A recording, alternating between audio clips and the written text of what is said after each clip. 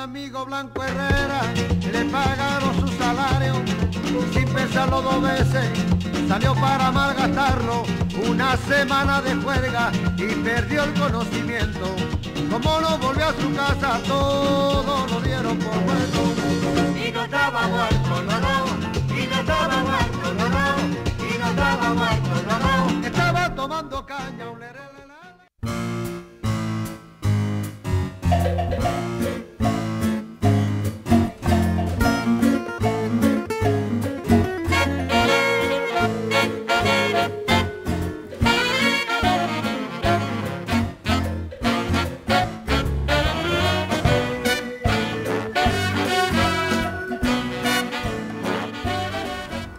Es como si hablar de...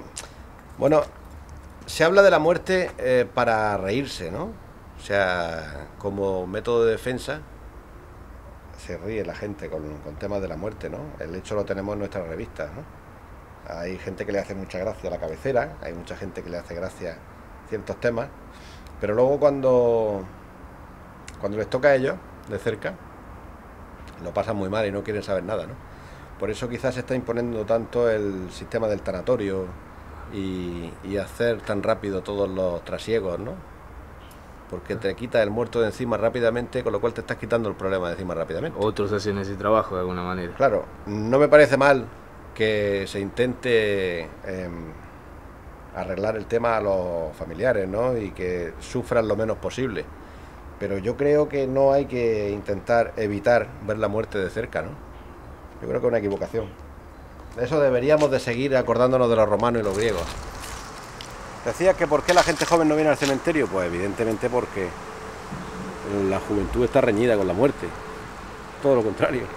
Un millón de personas son los cálculos que se hacen que visitan los cementerios de Madrid. Ten en cuenta que este es el principal, pues que pueden venir aquí entre los tres días, el 31, el 1 y el 2, pueden venir a este cementerio donde estamos 700.000 personas perfectamente. Tumbas, poner flores nuevas, arreglar las tumbas y barrer el suelo y sentarse a recordar a, su, a sus parientes que están enterrados. ¿no?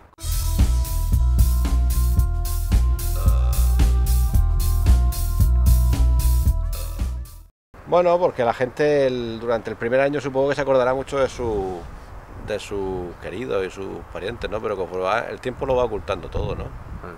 y, y se nota. Ya te decía antes que en el año 2000 las exhumaciones que se han realizado en el cementerio de los, en los 13 cementerios de Madrid, eh, el 30% han sido reclamadas, el 70% nadie se ha acordado de ellos, ¿no? Entonces, bueno, yo creo que la gente también va educándose de otra manera en el tema de la muerte, ¿no? Entonces, cementerios, sí, los cementerios es el mejor sitio para pasear. Y Sí. te darás cuenta que es un sitio perfecto para ir a leer o para ir a, a pasear o a pensar, ¿no? Porque es que es imposible que te moleste nadie.